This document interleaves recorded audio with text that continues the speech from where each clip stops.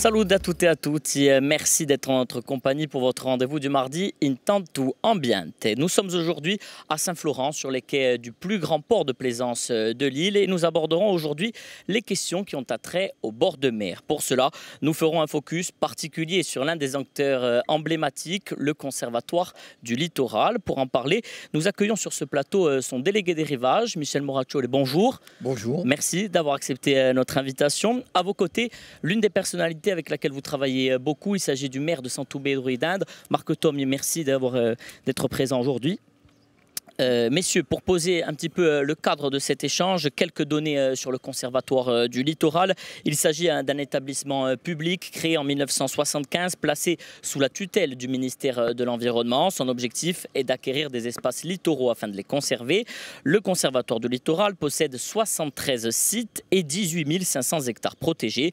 Le site le plus grand, il est tout proche d'ici, puisqu'il s'agit du désert des Agriates avec plus de 6 000 hectares. Voilà pour ces chiffres, messieurs. Une première question, euh, Michel Morachol, quand on voit ce tableau dressé, est-ce qu'on peut dire que le Conservatoire du littoral est devenu aujourd'hui un acteur incontournable dans la gestion de l'environnement en Corse? Bah, moi, je n'emploierais pas ce terme d'incontournable. En tout cas, c'est un acteur important qui a sa spécificité. Le Conservatoire du littoral a été créé en 75, comme vous l'avez dit. Pourquoi? Parce qu'à l'époque, on s'était rendu compte qu'il y avait une, une, artificialisation importante du littoral, une urbanisation. On était à 94%, je crois, dans les Alpes-Maritimes en 1973. Il fallait agir pour éviter que le littoral soit complètement euh, artificialisé. Donc le conservatoire, il a une spécificité, comme vous l'avez dit, il a une mission unique, cet établissement. Les terrains qu'il acquiert deviennent inaliénables. On ne peut pas les revendre, on ne peut pas les céder, les transférer. Et ils ont un statut de domaine public, c'est-à-dire un statut juridique extrêmement fort, qui fait que c'est le juge administratif qui juge les atteintes au domaine. Donc le conservatoire en 75, on ne sait pas si le législateur pensait très précisément euh, qu'il ferait son chemin. En tout cas, il a fait son chemin en relation étroite, et c'est dans le Code de l'environnement, avec les communes concernées, avec les collectivités concernées. Et petit à petit, il est arrivé, vous l'avez dit, le bilan en Corse, 30% hein, euh, du littoral euh, corse acquis par le conservatoire. Et on parlera un petit peu après de ces objectifs encore d'acquisition. Alors, vous parliez des communes. Marc Tom, vous, vous êtes à la tête d'une des communes les plus vastes de Corse, on l'a dit, certainement dans, dans les trois premières, après Sartène et avec Calenzane donc un bord de mer extrêmement important en termes de kilomètres. Vous, qu'est-ce que vous diriez de ce rôle du Conservatoire littoral qui est un partenaire vraiment pour vous? Avant de, préciser euh, le rôle que, que j'attends du Conservatoire du littoral, que j'attends, c'est pas le mot, vous allez comprendre pourquoi. Je voudrais partir du début de mon histoire avec le Conservatoire. Donc j'ai été élu en 2008 et euh, avait déjà été voté le projet de territoire avec les grands axes que l'on connaît et qui sont mis en pratique depuis. Euh, je me suis tout de suite inscrit dans la démarche, tant pour les objectifs que pour la méthode de travail qui est basée sur la concertation avec les usagers, les professionnels, etc. Donc euh, euh, le fait que je sois dans cette démarche-là a facilité les rapports avec le conservatoire et depuis donc nous travaillons j'ose pas dire main dans la main, mais ensemble. Alors on développera un petit peu plus tard les rapports que vous entretenez avec le Conservatoire du Littoral, mais si vous voulez bien, maintenant on va regarder un petit peu les, missions effectuées par le Conservatoire du Littoral. C'est un reportage signé Solange Graziani et Guillaume Leonetti. Un des premiers qui sera acheté, et ce dès cette année, ce sera la plage de Rocapine, près de Propriano en Corse. Elle a tout pour plaire, et les élus locaux craignaient, un jour ou l'autre, de succomber devant la puissance ou l'argent. En 1975, la plage de Rocapina et ses 500 hectares forment le premier territoire en Corse à tomber dans l'escarcelle du Conservatoire du littoral. Auparavant, ce lieu était la propriété d'une banque française qui avait déjà entamé des travaux pour créer une piste, des hôtels et une boîte de nuit. C'était sans compter à l'époque sur l'intervention des élus de la micro-région qui découvrent alors le conservatoire du littoral. De Rocapine à Belvédère comme pour moi et en particulier à la Tour, en accord avec les municipalités, nous avons réussi à faire acheter au Conservatoire du littoral 28 km de côte. il y a eu des pressions de manières diverses et variées, mais lorsqu'on est bien dans sa tête et qu'on a une idée précise à partir de ces options politiques de ce qu'est le littoral corse, on peut voyager, on peut voyager loin. 37 ans après cette première acquisition, le Conservatoire du littoral a pu récupérer, en saisissant la justice, les deux parcelles où se trouve le lion d'Orocapine et la tour. Elles appartenaient à une société privée italienne. Dans la majorité des cas, cet établissement public négocie à l'amiable avec les propriétaires privés. En cas d'échec, le Conservatoire du littoral peut user du droit de préemption et d'expropriation. Ainsi, en 48 ans, le Conservatoire du littoral est présent sur toutes les façades insulaires, avec 21 000 hectares acquis, soit 30% du linéaire côtier. L'objectif est de maîtriser 38 800 hectares en 2050. Une fois le foncier entre ses mains, cet établissement public aménage le littoral et lutte contre l'érosion en entretenant les peuplements d'espèces végétales, comme ici sur le site de Moukiatan, à l'embouchure du Gaulle. Alors qu'est-ce qu'on peut faire dans l'avenir? Surtout pas résister contre l'érosion, ce serait complètement vain.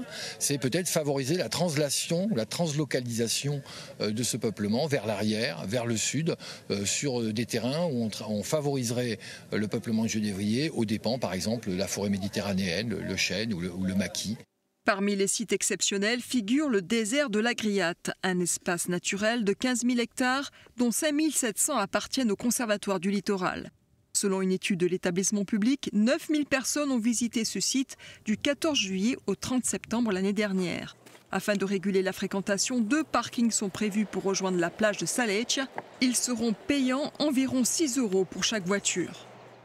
Le départ de la piste a été déplacé vers l'ouest. Elle est devenue propriété du Conservatoire du littoral, tout comme la fin du tracé. Au bout, un parking accueillerait le public avec une capacité de 140 places. La piste restera praticable seulement pour les 4x4. Les gestionnaires des navettes s'interrogent sur cette nouvelle organisation. Soi-disant, il y a 140 places dessus, suivant comment on se gare. Mais euh, est-ce qu'ils vont réellement réguler et prendre euh, et compter toutes les voitures qui vont descendre? Comment ça va pas se passer? Euh, Les gens, est-ce qu'ils vont attendre là-haut? Est-ce que nous, on doit attendre que le parking se vide? Ça, on ne sait pas encore vraiment. Ce dispositif sera expérimenté cet été. Ici, tout le monde reconnaît que la fréquentation touristique doit être régulée. Après, ça sert à quoi de venir en Corse pour le charme, le côté sauvage, et pour se retrouver euh, sur les plages de Cannes quoi. Parce qu'au euh, mois d'août, c'est pire que la plage de Cannes. Tous les choix d'aménagement ont été faits en concertant les socioprofessionnels et les élus des quatre communes du territoire de l'Agriate. Pour les commerçants qui sont en première ligne, proches de la plage, il reste à gérer le problème des déchets. Les gens laissent énormément de déchets après la saison. Hein. Euh, et c'est vrai que, bon, après, c'est vrai que c'est toujours, euh, toujours financier. Hein. Donc, on attend vraiment qu'il y ait un effort là-dessus. parce que c'est vraiment fréquenté. Hein. Il n'y a, a aucun aménagement pour les poubelles. Hein. Après, je comprends que ça coûte très cher, mais il faudra à long terme trouver une solution. Au final, le coût global des aménagements est de 3 374 000 euros. 1 700 000 sont financés par la collectivité de Corse, 614 000 par le Conservatoire du littoral, 565 000 par la commune de Santoupêtre d'Itinde et 495 000 euros par l'État. Grâce à ces nombreuses acquisitions, cet établissement public est devenu incontournable. En 48 ans, le Conservatoire du littoral est devenu un des piliers de la préservation de l'environnement en Corse. Michel Morachol, on l'a vu dans ce reportage, il y a une volonté euh, d'acquérir euh, de nouveaux euh, espaces, de plus en plus en tout cas, 21 000 hectares accueillis aujourd'hui, un objectif de 38 000. Pourquoi? Pourquoi? Parce qu'il y a encore des espaces à protéger, hein, ça c'est indéniable, parce qu'il y a encore des menaces. Il y a d'abord des dégradations sur des espaces qui peuvent avoir euh, bénéficié d'une protection réglementaire, par exemple par la loi littorale ou euh, les sites classés, etc., mais dont les usages ne sont pas canalisés, dont les milieux, les paysages ne sont pas réhabilités. Donc euh, pourquoi faire? Bien entendu, poursuivre cette protection et ensuite, derrière, aménager ces sites, les réhabiliter et surtout les donner à découvrir, les donner, euh, les ouvrir au public. Et ça, c'est quelque chose qui est très important. Et c'est inscrit dans le Code de l'environnement d'ailleurs. C'est certainement euh, les plus difficiles alors les plus difficiles, alors euh, aujourd'hui, si vous voulez, où il y a le plus de pression, de menaces effectivement, il n'y a pas plus de pression et de menaces, comme vous l'avez vu. D'ailleurs, je suis très touché par, par le, témoignage de, de Dominique Bouquigne, hein. euh, cet engagement, euh, comme beaucoup d'élus hein, qu'ils ont eu, et le conservatoire est venu intervenir parce qu'il y avait cet engagement des élus pour protéger leur littoral, eh bien, il y avait des pressions extrêmement fortes parce que tout était possible partout. Hein. en 1977, lorsque les terrains sont achetés à Rocapine, il n'y avait pas de documents d'urbanisme, de, de loi littorale, donc effectivement, tout était possible partout. Alors maintenant, il y a d'autres menaces, c'est la dégradation des milieux par des usages, notamment à proximité des, agglomérations. Hein. On travaille beaucoup sur la marale, sur la casique, ça sert de poubelle, les espaces qui ne sont plus constructibles.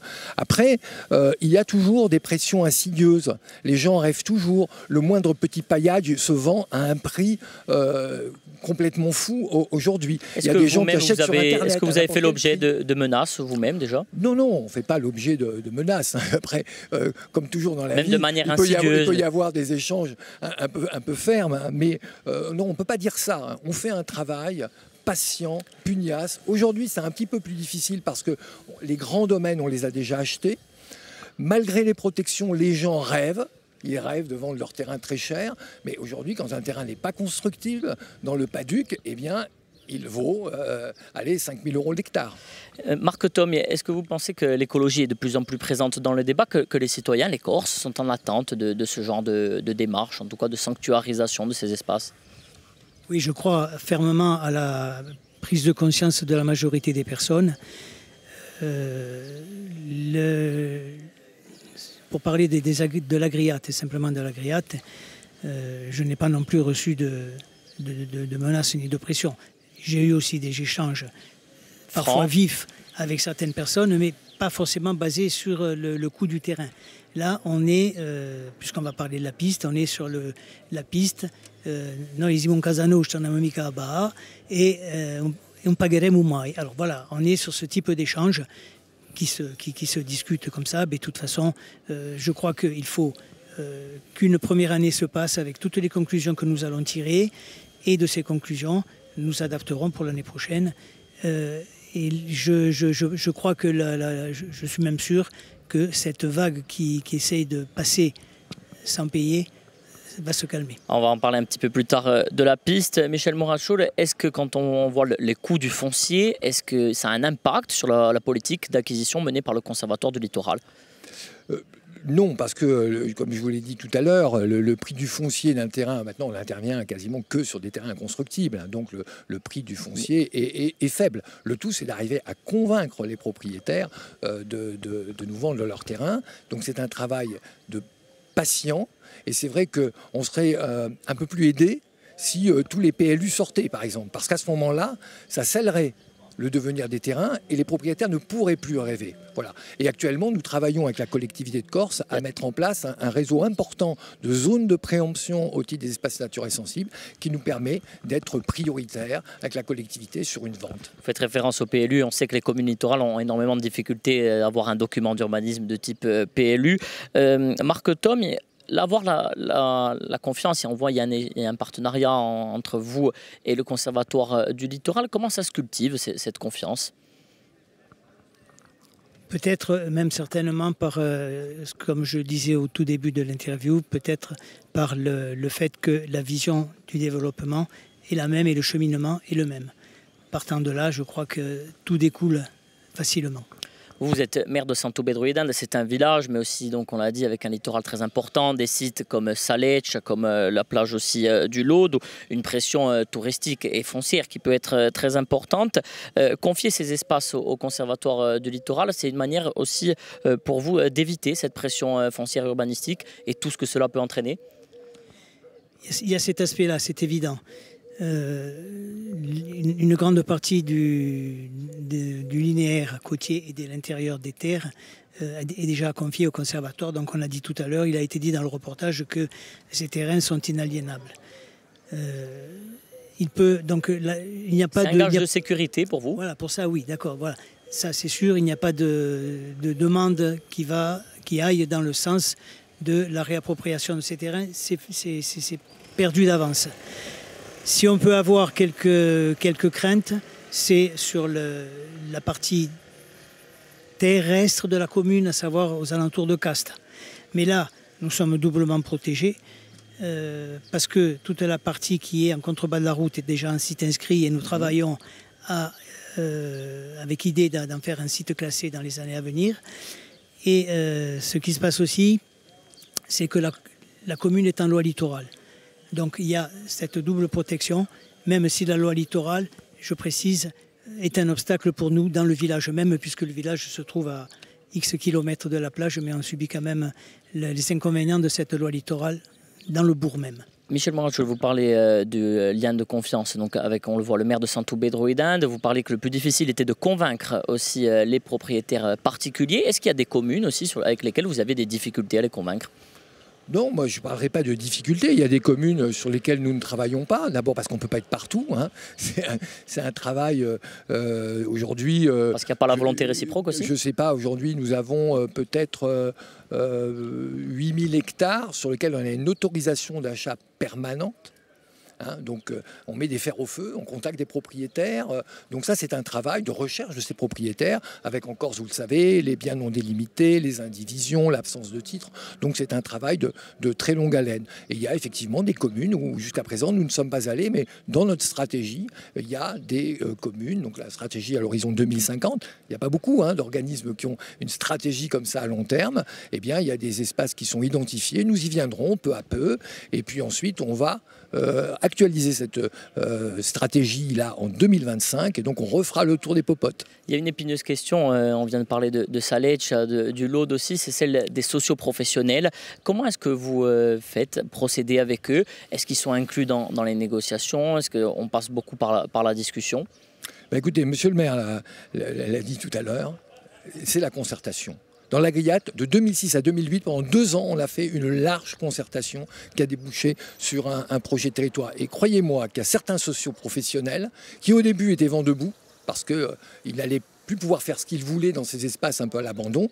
Et ils sont devenus, pour certains d'entre eux, d'ardents défenseurs de cette démarche partagée.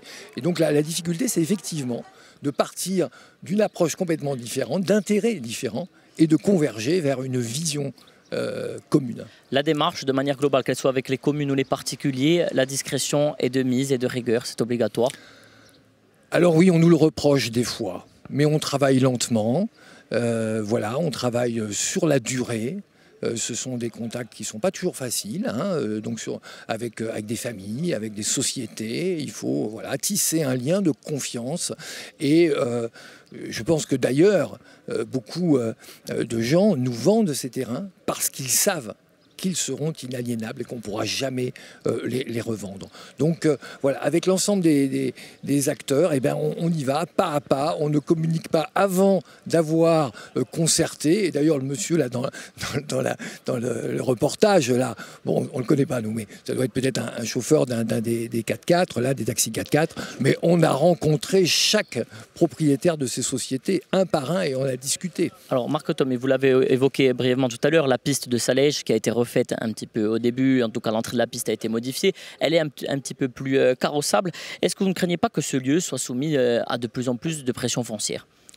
Avant de répondre à cette question-là, je voudrais préciser euh, et, confirmer ce qui a été dit sur la concertation, à savoir que je crois que c'est en 2010, Michel, quand il y a un comité de gestion qui a décidé qu'il y aurait une, redevance qui serait demandée aux, gens qui vont emprunter, qui vont descendre sur Saletch et, euh, et, que les gens du territoire et les gens de la commune en particulier devraient payer parce que l'idée c'était que euh, la piste soit accessible à tout, mm. tout véhicule familial.